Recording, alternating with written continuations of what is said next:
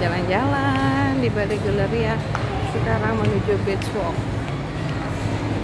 Menuju beach walk nyari sesuatu yang belum dapat di sini. Iya jalan cepat.